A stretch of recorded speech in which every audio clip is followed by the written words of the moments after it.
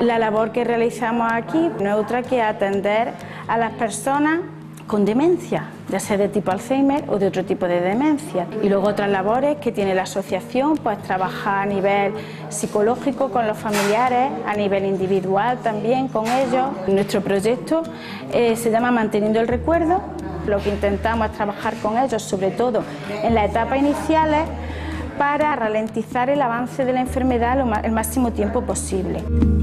La asociación Vale, que es una asociación para la integración y atención a las personas con discapacidad intelectual. Nuestro objetivo es la integración laboral, social. El proyecto se llama Blanco y lo que pretendemos es mm, ofertar nuestro servicio de lavandería a empresas de la zona. Son un grupo de ocho personas, eh, son chicos y chicas, ellos ya están preparados suficientemente como para eh, hacer este tipo de trabajo de forma autónoma. Serían unos puestos fijos donde ya ellos tendrían una mejor calidad en sus vidas y en sus familias, por supuesto. Se maneja la lavadora, la secadora, la plancha me, me cuesta un poco más trabajo. Yo como me siento un poco muy realizado. Es otro mundo. La cercanía de la gente y de los compañeros de trabajo. Siempre muy cordiales. Es un ambiente muy familiar. Me encanta. Fundación Diagrama es una entidad sin ánimo de lucro que desde 1991 lleva trabajando en favor de las personas en riesgo de exclusión y en dificultad social, siempre con el objetivo de promover los derechos humanos. El programa de intermediación laboral de Red Nodu en Jaén va a atender a un mínimo de 30 chicos y chicas en riesgo de exclusión, principalmente procedentes de medidas judiciales, y tienen una edad máxima de 25 años. Con ello, un técnico desarrollará los itinerarios formativos y laborales que posteriormente nos darán la clave para buscar e intermediar con empresas en las que ellos puedan bien realizar prácticas formativas o bien directamente ser contratados.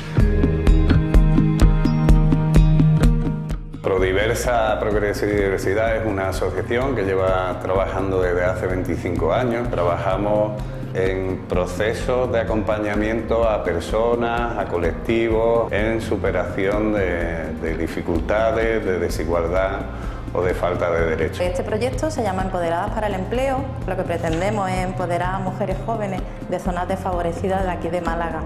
Trabajar la formación en competencias básicas, prelaborales transversales y profesionales. Tenemos ya seis mujeres dentro de los itinerarios y como el proyecto tiene una duración hasta final de año, pues esperamos conseguir llegar a los objetivos que nos hemos marcado. Proyecto Hombre cree en la persona, en la capacidad de cambio de las personas. Trabajamos en el tratamiento y prevención de adicciones y conductas desadaptativas y también en la inserción laboral, en la investigación, en la formación y en la sensibilización de la sociedad. En Proyecto en Almería, trabajando todos estos años con la gente joven, hemos descubierto lo importante que es trabajar desde la prevención. Desde el programa Quiérete realizamos esta labor acompañando tanto a los jóvenes y las jóvenes como a sus familias.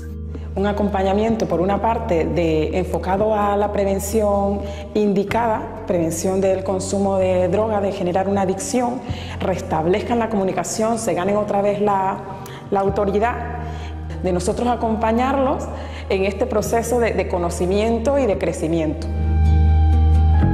Fundación Proliberta es una ONG que pertenece a la Orden Trinitaria, se constituyó hace 18 años y tiene un ámbito nacional.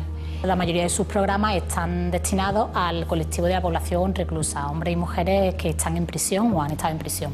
El programa que se lleva a cabo aquí en Antequera es un programa de atención integral a personas en vulnerabilidad social las actividades que se llevan a cabo son principalmente la acogida en el programa, el alojamiento y la manutención. Este año hemos podido aumentar el número de talleres realizados con el perfil con el que trabajamos, sobre todo en aspectos relacionados con la inserción laboral.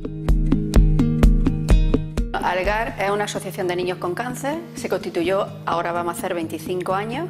Trabajamos con la familia al completo, desde que el niño es diagnosticado hasta que la familia deja de necesitarnos. Y también trabajamos la parte educativa, damos charlas en, los colegios para sensibilizar a los compañeros, que es fundamental. E intentamos que lo que es un diagnóstico de un hijo con cáncer, un menor, pues sea lo más llevadero posible. O sea, que trabajamos los 365 días del año y las 24 horas.